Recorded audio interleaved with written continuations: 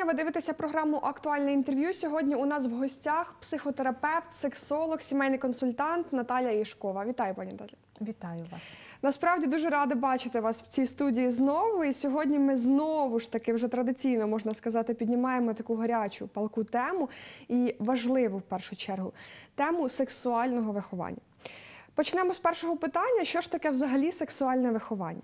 Сексуальне виховання це складова виховання, в принципі, е, дитини.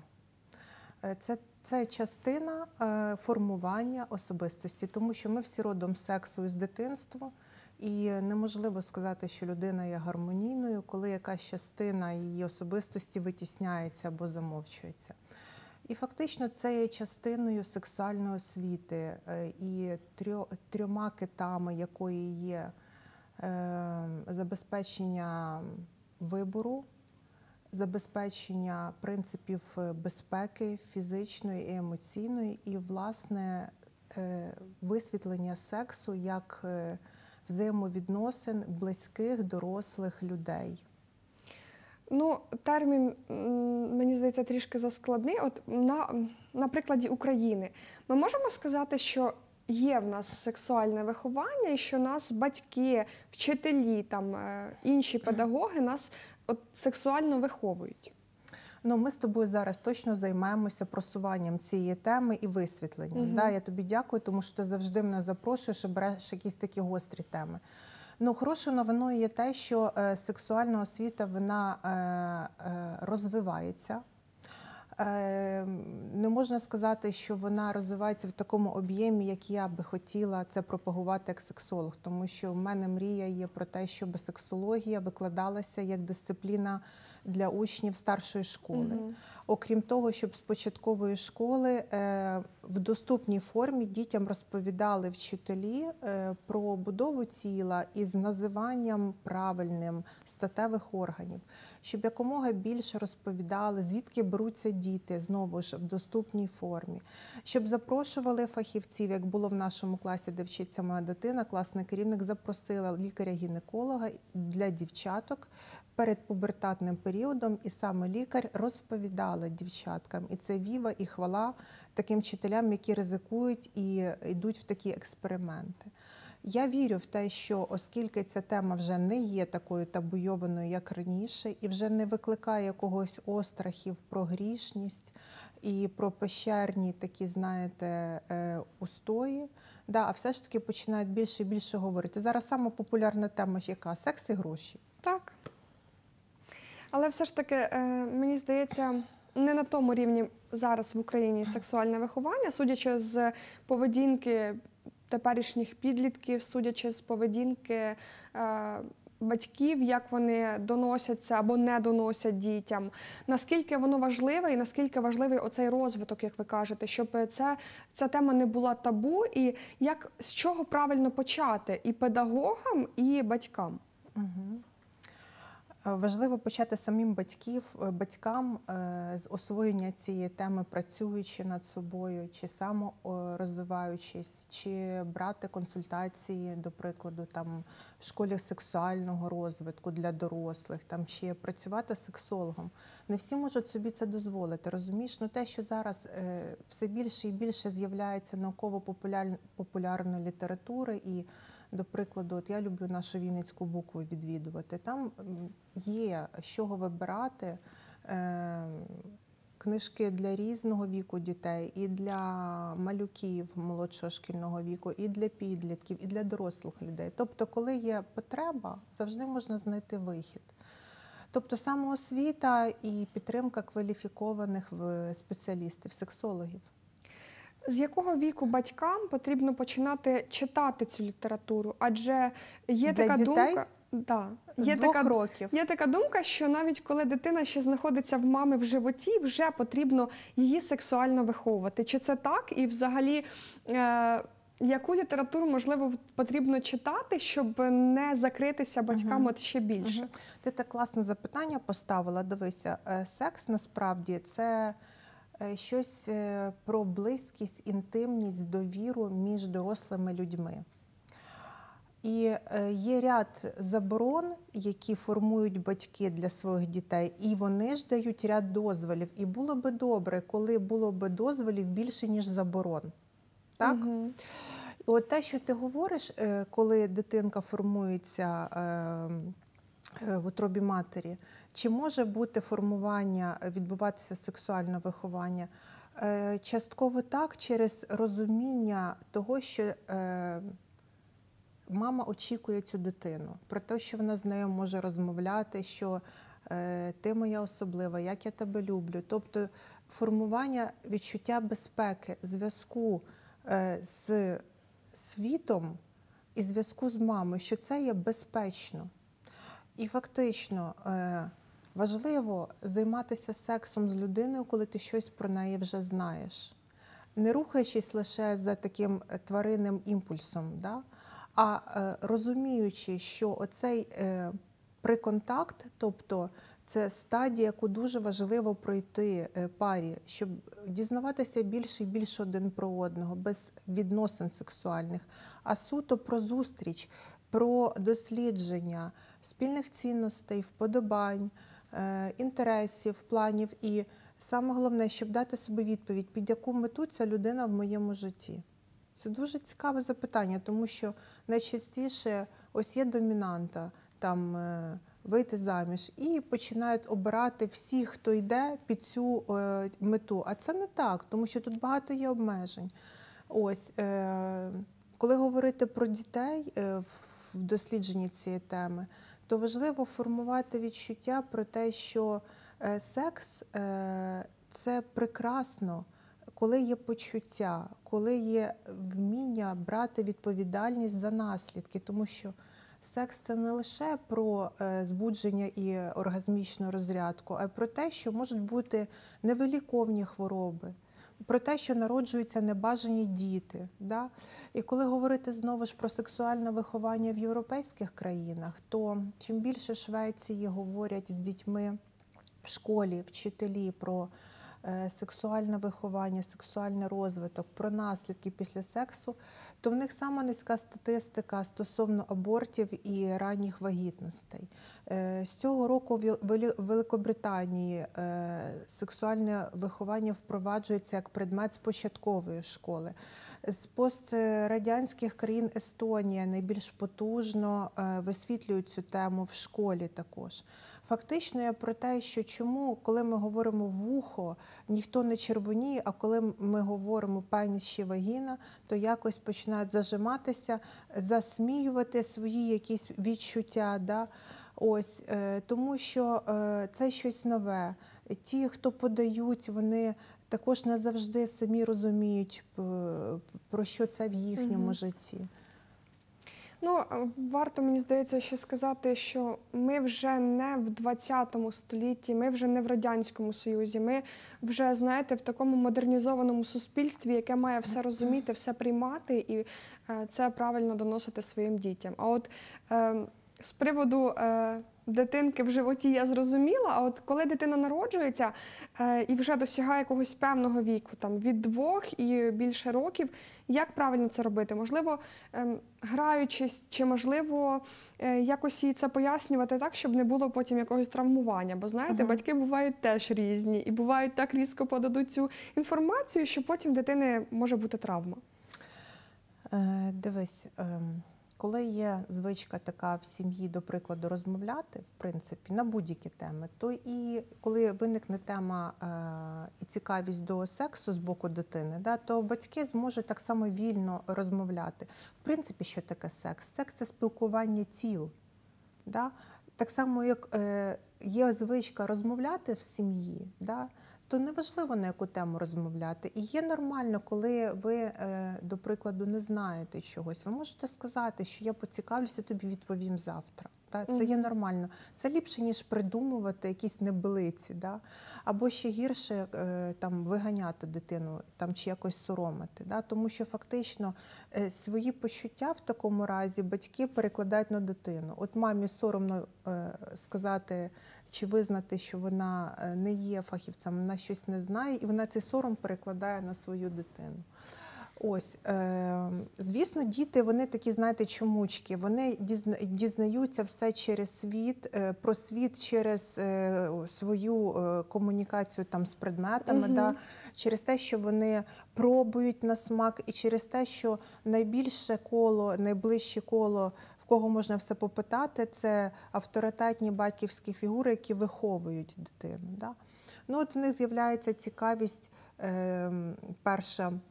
Е, Стосовно сексуального виховання, взагалі хто як влаштований, коли вони в дитячий садок ідуть, вони підглядають один за одним. З трьох років вони усвідомлюють себе вже е, в якомусь гендері, чи хлопчик, чи дівчинка. Дитина сама вирішує це. Ось е, з трьох до п'яти років е, можна дитині розповідати про гігієну тіла, як підмиватися, як доглядати за своїм тілом, як називаються статеві органи, правильно як називаються. Це дуже важливо, щоб не було ніяких підмін, ніяких печеньок, там е, трояндочок, а є суто назва вульва, пеніс, анус, груди, рот і так далі. Далі. Коли дитинка дорослішає, мож- можливо вже розповідати. От вони часто запитують, звідки беруться діти, Так. як я да. І не видумувати цих всяких легенд там про капусту, там Лелеку, так? лелеку, там чи там хтось подарував, почтальйон приніс, поштар, я перепрошую, і так далі. Ти народилася в пологовому будинку. Да? Можу часто задавати запитання, а як там я в животі там поселилася? Да? І можна також в такій е, формі доступній розповісти про те, що е, у твого спочатку зустрілися ми з татом, і ми покохали один одного. І ми е, якийсь час зустрічалися, щоб дізнаватися все більше один про одного. Потім вирішили ми створити сім'ю. Потім вирішили. е, Дати народження, ось тобі. Ми так тебе хотіли. Давати якомога більше погладжувань про те, що ми тебе хотіли. Ти для нас є бажаною дитиною, і тільки про таку дитину ми мріяли, і з такими очками, з такими вушками, і так далі. і так далі. Щоб дитина розуміла, що вона є бажаною. Тоді і в дорослому світі ця дитина буде шукати стосунків тоді, коли її бажають, коли її хочуть, коли їй дають визнання потрібності, важливості. Розумієш, як це все пов'язано. Отже, і далі розповідати про те, що е, в тата є е, е, яєчка, там зароджуються сперматозоїди. Це така от клітиночка важлива, яка належить татові. А в мами є е, яєчники, і там є е, яйцеклітини. І ось коли тато проникає в маму, їхні клітиночки поєднуються і зароджується життя. І ти потім ростеш в маминому лоні. І виріс, і потім народився. І цього достатньо буде без деталей, Мгм. як народжується. Потім, коли дитина стає підходить до пубертатного періоду. Е, Ми говоримо від 9 до 12 років, да, тому що зараз акселерація і е, підлітковий вік починається ну, раніше, ніж Мгм. колись. Так?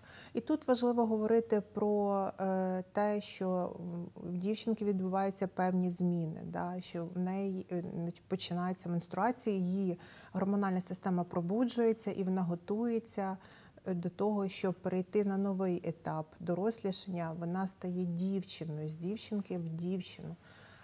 Так само, як е, про хлопчика, е, коли е, ми говоримо, да, що хлопчик може запитувати там, про ерекцію, да, про полюції і так далі. Про це розповідати ну, простою мовою на рівні тої інформації, яку може взяти дитина. І важливим моментом є е, підготовки дитини до сексуального життя в майбутньому говорити про те, що на рівні аксіоми немає презервативу, немає сексу. Ти можеш в будь-який момент передумати, розвернутися і піти. Угу. Треба вміти казати ні, так? Ще навчити дитину казати ні. Все, що стосується сексуального виховання, це про будування інтимних меж, це про контрактування сексуальних відносин. Я взагалі, в принципі, як е, психотерапевт, який працює з інструментами гештальту, транзакційного аналізу і сексології, наголошую на тому, щоб контрактувати з кожною людиною відносини. Це говорити, як зі мною можна, як зі мною не можна. Куди ми рухаємо ці відносини? Да? Якщо говорити про сексуальні контракти, то це про те, е, що має бути безпека, що секс має бути захищеним, Про умови і про виконання е, сексуального акту, в кого які вподобання, в кого які сексуальні фантазії, тобто розповісти своєму партнеру, що тобі подобається. Неодноразово ми вже з вами піднімали тему е, сексуального виховання, і лунала постійна така фраза правило трусиків, і що перед входом у дитячу кімнату потрібно обов'язково стукати, неважливо в якому віці дитина. Що таке правило трусиків і чому все ж таки дуже важливо от стукати, е, коли заходиш до дитини? Угу. Давай спершу про правило трусиків. Так. Про це важливо говорити з дитиною е, в ранньому шкільному віці. Да? Е, Від двох років можна вже говорити про це, що є правило трусиків. Це про те, що ніхто ніколи не має права торкатися до твоїх органів, які ховаються під трусиками. Е, І ти не маєш права, тому що це також контракт, який працює дві сторони. І ти не маєш права торкатися до інших е, дітей, людей, до тих органів, які сховані під трусиками. Угу. І далі наступний момент також, що е, ти можеш бути зі мною відкритим, коли хтось намагається до тебе доторкнутися, або якісь незнайомі люди, навіть якщо вони з вигляду виглядають привітними. Ти не маєш з ними розмовляти, ти не маєш з ними вступати в якісь відносини, ти не маєш до них підходити, вони є чужими. І коли щось стається, обов'язково підходь і зі мною розмовляй. Будь-яку проблему ми можемо з тобою вирішити. І ось це посилання воно формує в дитині е, бажання ділитися із чимось новим, прекрасним, цікавим, із якоюсь ситуацією, де виникають якісь переживання. Тому що дитина знає, я не одна. У мене є батьки, вони мене захистять і підтримають. Угу. І ніяких секретів не може бути. І про це важливо говорити. Що б не сталося, я завжди тебе буду захищати, я завжди тебе буду підтримувати. Навіть дивіться, в мене кілька разів був досвід роботи з жертвами педофілів. Да? І все те, що розповідали е, мені під час сесії, було через посилання. Я тебе поцілую, це буде наш секрет. Розумієш? Яка є підміна? Немає секретів між дитиною і батьками. Тобто важливо говорити відкрито і говорити про це, що все, що стосується твоїх переживань, ти можеш до мене приходити, ми можемо про це з тобою розмовляти. Я все відкладу і завжди тобі допоможу. Якщо все ж таки є таке, знаєте, додаткове питання до цієї теми, е, якщо все ж таки є сексуальне насилля в родині, Угу. до кого звертатися і. Якщо, наприклад, ну бувають такі випадки, що родина неповноцінна, немає або тата, або мами, і ти розумієш, що тобі немає до кого звернутися. Ти маєш на увазі вже в дорослому віці, коли була ця дитина маленька жертва насильства, так. чи коли маленька дитина? І- Маленькій дитині дуже важко розумієш зорієнтуватися, тому що все залежить від того, як, е, як вибудовані відносини, чи є дозвіл бути близьким, бути відкритим, е, почувати, розумієш себе захищеною. Ось е, дитина може не впоратися з тиском, да, тому що дуже часто буває таке, що стається інцест, і дитина приходить до мами і каже, що е, там тато чи друг нашої сім'ї, там якийсь там хто, тому що педофіли завжди люди, які вхожі в сім'ю. Да? Мгм, мгм. В рідких випадках це якісь такі люди невідомі. Ну найчастіше відбувається сексуальне насильство з людьми, які вхожі в будинок цей. Коли залишають дитину е, на когось там. е, Дядько там, дядько, там е, якийсь знайомий, хороший, да, що пригледів за дитиною, чи пригледіла і так далі. Тобто говорити про це батькам. Коли батьки засуджують, дитина потім виросте, я сподіваюся, що дійде до психотерапевта. Але все ж таки, коли дитина звертається до дорослої людини за підтримкою, е, це є злочин, і важливо підключати е, правоохоронні органи, да, тому що це є злочин. І злочинець має понести покарання. Дякую вам за вичерпну відповідь. Тепер про стук у кімнату дитячу. Мгм. Це теж така тема. Знаєте, не, не всі батьки е, і українські батьки ще дійшли до такого рівня. Угу, угу. Про що це? Це про те, що ви поважаєте межі е, своєї дитини. те, що ви поважаєте, що дитина є власником своєї кімнати, своєї території. Це про те, що ви поважаєте е, дитину як особистість. Да? Тому е, дитина може займатися своїми справами, вона може слухати музику, відпочивати чи мастурбувати. І е, все, що стосується задоволення, коли переривається, дитині формується потім е, як певна поведінкова реакція, такий імпульс, що отримувати задоволення небезпечно. Про те, що обов'язково буде покарання, да? і найчастіше в таких випадках може бути геть аноргазмія. Неможливість дійти до піку задоволення, да? тому що оргазм це як е, винагорода е, природи да, за сексуальні відносини. Угу. Тобто е, все, що відбувається у дитини, е, як формується вона з дитинства, як закладається оцей базис безпеки, дозволу отримувати задоволення, тому що мастурбація це перший досвід знайомства з своїм тілом, і це є нормально. Да? Е, Якщо е, потрібно ще й розуміти, яка це мастурбація, коли вона компульсивна, да, то це привід звернутися вже до фахівця да, з дитиною. Але коли це е, е, є нормально, да, час від часу, дитина фактично через мастурбацію знімає напруження, пізнає своє тіло, знайомиться зі своїм тілом, це є нормально. Якщо все ж таки е, батьки, скажімо так, застукали дитину, ем, як їм себе поводити? Бо в більшості випадків чула історію, і та й ви мені розказували, що в більшості випадків батьки починають кричати, сваритися. Чому так відбувається?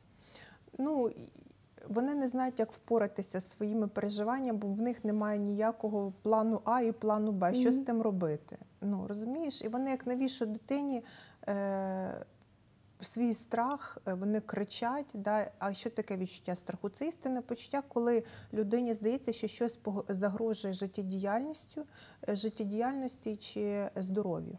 От батькам здається тоді, які кричать, певно, що це зараз якось так травмує дитину. Да?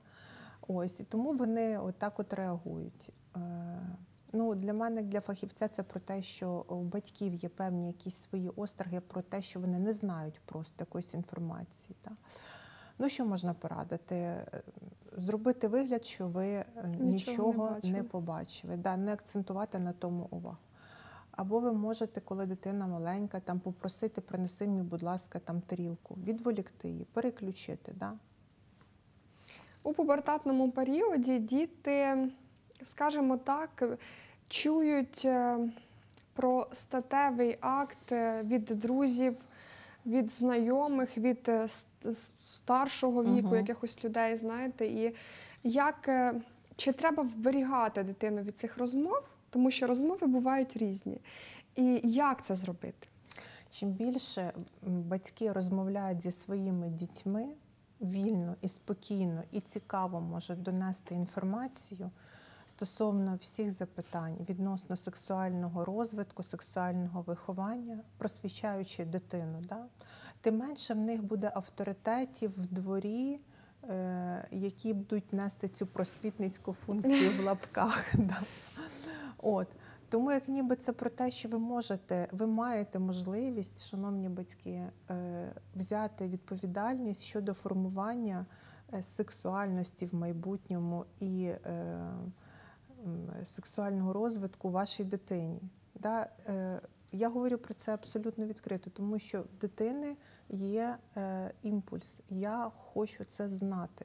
І коли не задовільняється ця потреба поруч з батьками, бо вони най, найближчі, дитина абсолютно відкрито прийде і запитає. Коли не буде відповіді, домінанта буде рости, вона буде задовільняти йде на стороні. Ну нічого нового. Є мета, нема перепон. Я Да, все одно дізнаюся. Да, я все так? рівно дізнаюся. Зараз ера доступу інформації. Google забиваєш е, будь-що, і тобі е, вийде дитині ця інформація. Ну якого вона буде е, характеру? Чи буде вона правдивою там, чи не буде там якихось скритих посилань, там запрошень. Да? Я би радила, звісно, і переглядати. е, Історії браузера, Історію, так? да, да, які там дитина, що вона шукає в тому гуглі. Угу. А це не буде вважатися от втручанням в особистий простір дитини? Чи це можна робити без її присутності? Ні, переглядати то можна, що дивиться дитина на компі, да? е, що вона шукала, для того, щоб розуміти, чим дитина цікавиться. Ну я не говорю про те, щоб дивитися в телефон, да? тому що кожна людина має право мати своє е, приватне життя. От ти бачила фільм Ідеальні незнайомці? Ні. Ну, то подивися, там якраз про те, які секрети в мобільних телефонах дорослих людей. Ну, це як ніби зовсім інша історія. Тобто я про те, що дитина так чи інакше піде е, шукати е, відповідь на свої запитання будь-де інде, якщо не від... цю відповідь не отримає в батьків або Розум- у вчителів. Розмова про інтимні стосунки між чоловіком і жінкою традиційні. Для хлопчиків і дівчаток відрізняється, чи е, є якась стандартна схема розмови і поведінки батьків? Ти знаєш, я от вчора, до речі, коли готувалась до ефіру, на цьому запитанні прямо ось так ось зупинилася. Спочатку в мене була гіпотеза по типу. Е, Ні, для дівчаток має бути там своє виховання, а для хлопчиків своє. А я потім зрозуміла, а чому е, ми будуємо відносини один з одним. Отже, ми маємо право знати більше про свого майбутнього партнера. Тому я зрозуміла, і для хлопчиків буде окей, коли вони будуть знати про менструації, да? тому що вони будуть колись мати своїх дружин. І вони мають право про це знати. В них колись будуть свої доньки, можливо, і вони вже будуть про це знати. Я думаю, що певно я наголошую на тому, що немає різниці. Тому і дівчатка мають право знати про всі ті процеси, які відбуваються з хлопчиками. Угу. І ще одне останнє запитання на кінець. От е, якщо ми вже почали тему про хлопчиків і дівчаток, то чи варто батькам розділяти їхні межі в квартирі? Це мають бути різні кімнати, чи це може бути одна кімната?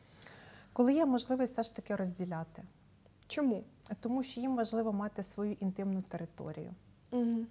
Да? Для того, щоб вони е, могли бути спокійними е, в формуванні своєї інтимності, все ж таки. Е, можливо, може бути таке, що немає е, можливості, тому що одна кімната виділена для двох дітей. Тоді мають бути якісь перегородки і зонування простору. Я зрозуміла. Дуже дякую вам, пані Наталя, за таку цікаву і знаєте відверту розмову, тому що ну в нас завжди так виходить. В нас не виходить ділових розмов, в нас завжди виходить відкрита, відверта розмова. Я нагадую, що ви дивилися програму Актуальне інтерв'ю. До зустрічі на рідному каналі.